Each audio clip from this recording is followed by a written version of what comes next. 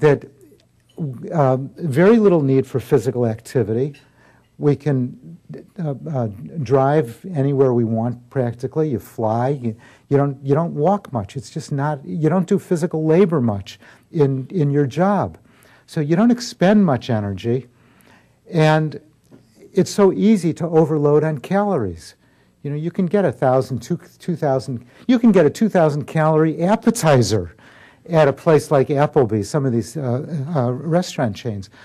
Um, so cheap, ta- tasty junk food, no exercise, that equals obesity. Those are two uh, identifiable factors. The television watching keeps kids cemented in their, in their couch, the couch potatoes, couch french fries that we have these days. But there may be a lot of other factors, such as overweight women giving birth to overweight kids, kind of having this multi generational effect that is seen in animal studies. Um, and uh, environmental pollutants. Uh, um, BPA, bisphenol A, which is in the lining of cans and is in all of our bodies, uh, dioxins, who knows what other contaminants might promote obesity. And for BPA, there is evidence in animals that uh, that contributes to overweight in animals. So, you know, there are a thousand of these unknown factors that maybe may affect us uh, in um, uh, before we're born. And that all the lectures by physicians when, when you're 10, 20, 30 years old may not have much of an effect because we're destined by these uh, invisible uh, um, um, um, factors that promote obesity. That's going to, you know, those are little um, you know, a little bit far out. There's some evidence, no proof. We need a lot more scientific evidence about the factors that promote obesity before we're born and after we're born. Uh, yes. Appreciate it coming out. And I wanted to ask a question. You characterized very well the uh, consumption and health side of things, but it seems like a major uh, factor uh, is the production side, and we have an agricultural system that's heavily subsidized to produce the kinds of foods that you're, you're describing. Uh, so I'm wondering if you could comment on any uh, signs of movement towards integrating uh, food and farm policy, because uh, I think the kinds of farms that would be producing the foods you're talking about would look like a very different and probably much more healthy agricultural system than we have today. Yeah. Um, there are a lot of changes that need to be made in the agricultural system kind of on the nice end, you know, that's maybe easy, maybe easier to deal with, would be for the Department of Agriculture to provi- provide more support to small farmers uh, and farmers and fruit and vegetable growers who do not want a direct federal handout.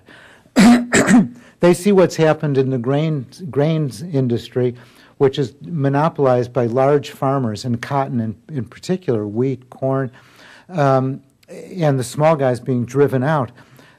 Fruit and vegetable growers love indirect subsidies, though.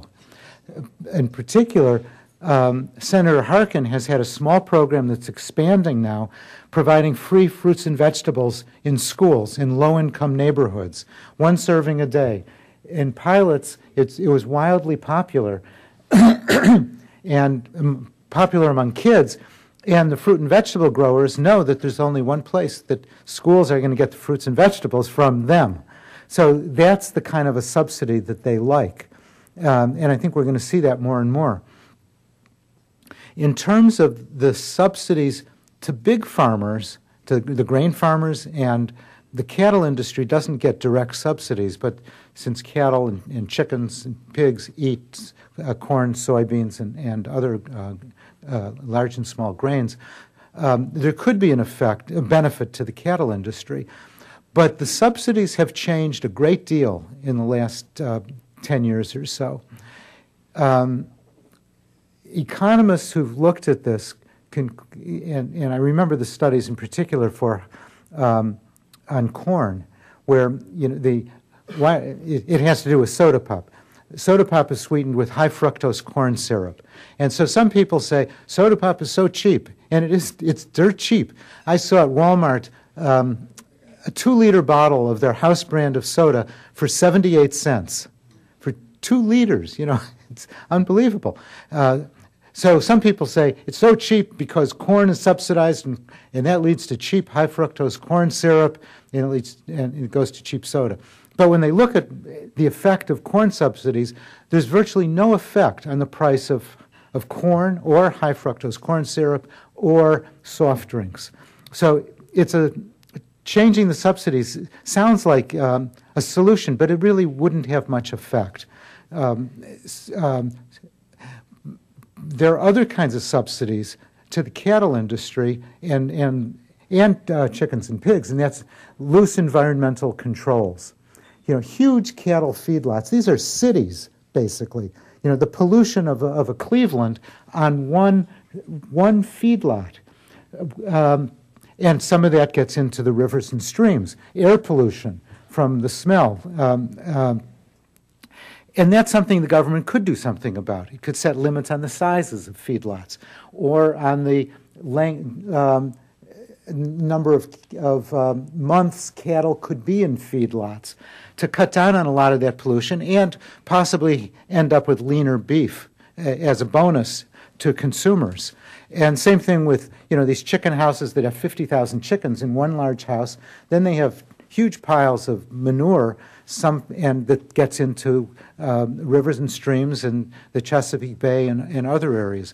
Those are things that I'm sure the Environmental Protection Agency is going to be looking at. So to put some and and from the environmental side, and then from the um, humane treatment of animals side, I think we're going to see changes. A lot of pressure to give animals more space.